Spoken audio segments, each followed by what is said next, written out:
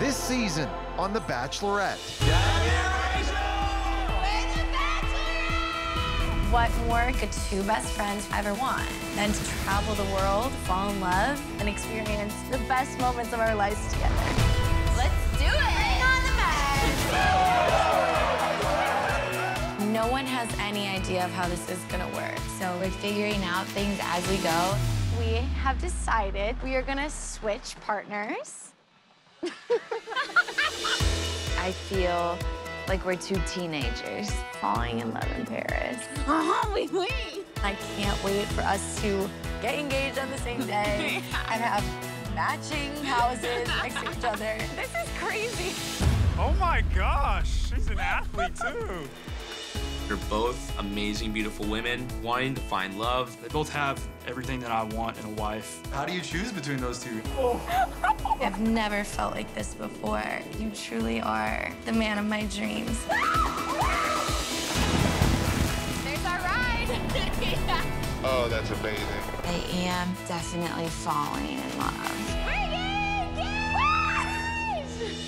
Do y'all have a preference of Rachel or Gabby? Yeah, it's gonna be tough to decide.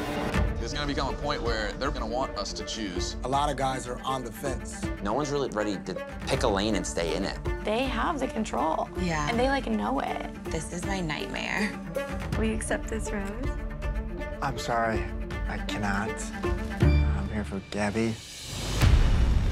It seems cruel for both of us to be put in this place together. I am gonna have to decline the rose. I don't know how I'm supposed to fall in love when no one gives a about me. I'm sorry. It's okay. This is not supposed to be like this. I do have my intentions fully for Rachel. He said he can't love me. Am I not good enough?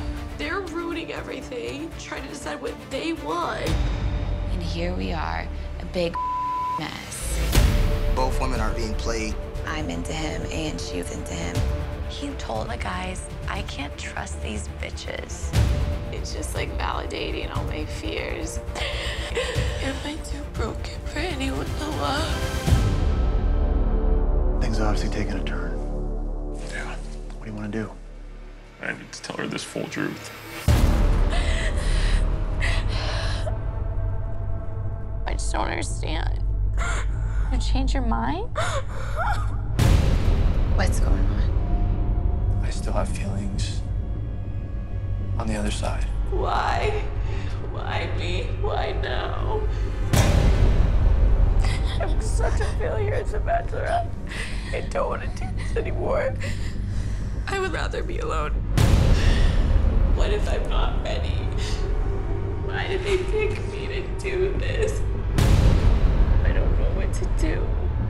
This journey, finding love together, it's messy. I just hope that for both of us, it's worth it.